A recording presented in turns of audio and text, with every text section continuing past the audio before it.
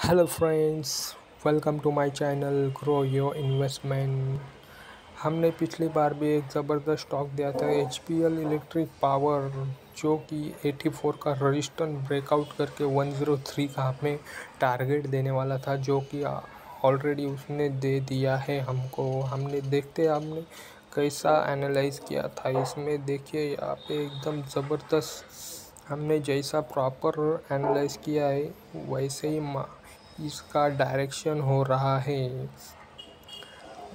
अभी बात करते हैं करंटली अभी देखिए कि ए टी फोर का जो हमारा पहला रजिस्टेंस था, वो अब हमारे लिए एकदम ज़बरदस्त सपोर्ट बन चुका है।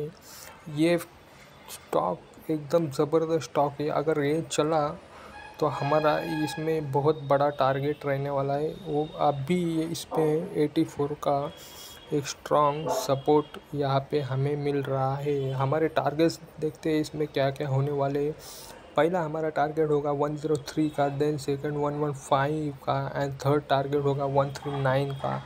जल्दी आपको ये टारगेट देखने को मिल जाएँगे फ्रेंड्स हमारे चैनल को लाइक कीजिए शेयर कीजिए सब्सक्राइब कीजिए।